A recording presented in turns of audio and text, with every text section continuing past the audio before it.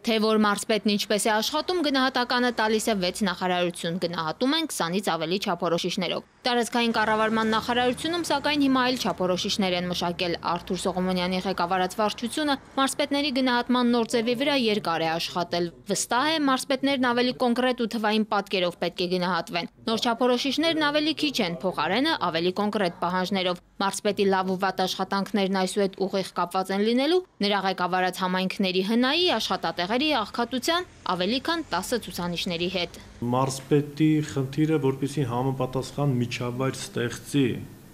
որպեսի աշխատատեղեր ավելանան։ Պետքա ներազդի այդ միջավայրի ձևավորմանը, որպեսի բիզնեսը զարգանա, ընդլայնվի, բնականաբար իր հերթին բերելով ֆորմալ աշխատատեղերի թվի աճին։ Եթե թվերը բարձր են, մարզպետի գնահատականն էլ բարձր կլինի, եթե թվերը ցածր եղան, մարզպետը գերազանցի հույս չպետք է ունենա։ Իսկ նախարարությունները օբյեկտիվ չլինել չեն կարող։ Չափորոշիչները մշակվել են միայն թվային պատկերների արտացոլման հնարավորությամբ չի կարող այս երբ որ կոնկրետ թվային ցուցանիշները կա, այս ֆորմատի մեջ ցուցաբերել անատական կամ սուբյեկտիվ մոտեցում։ Մարզպետների գնահատման նոր նախագիծը կառավարությունից հասել է մարզեր, մարզպետները դրանք քննարկելու հնարավորություն ստացել են, առարկությունները հիմնականում քիչ են։ Արագածոտնի մարզպետ Աշոտ Սիմոնյանը հանրապետության ամենաերիտասարդ մարզպետներից է։ Նոր է սկսել մարզը ղեկավարել, սակայն արդեն հասկացել է հաջողության բանալին, օր ու գիշեր աշխատանքի մեջ է, փորձելու է աշխատանքով դրական չափորոշիչներ գրանցել։ Յուրաքանչյուր չափորոշիչի, յուրաքանչյուր գործոնով պայմանավորված աշխատանքի աճ իր ազդեցությունը թողելու է մնացած չափորոշիչների դրական աճի վրա եւ հակառակ պարագայում նաեւ հակառակը որովհետեւ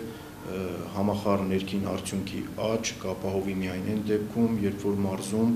նոր աշխատատեղեր ստեղծվեն Լոռու մարզպետն ամենափորձառուներից է, ինչ ապորոշիչներով քիչ չի աշխատել։ Վստահ է նորերը տնտեսական աճ ստանալու առումով ավելի լավ հնարավորություն են տալիս։ Նախագիծը ստանալուն պես ներկայացրել է իր դիտողությունները։ Հիմնական առարկությունը մարզում դպրոցների աշակերտների թվի հետ է կապված։ Մարզի առանձնահատկությունները հաշվի առնելով կարող են լինել նաև մի փոքր ցածր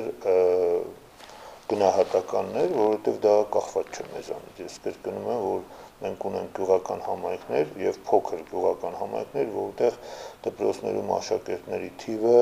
բնականաբար շատ ցածր է եւ այնտեղ ուսուցիչ, աշակերտ, աշակերտ ֆինանսավորում էս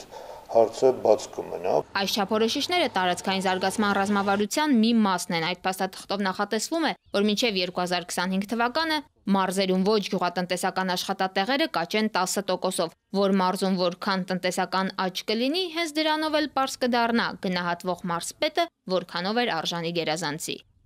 Աննա Դավթյան, Գայանե Սարգսյան, Տիգրան Ղուկասյան, Վահե Օվսեփյան, Երկիրն այսօր։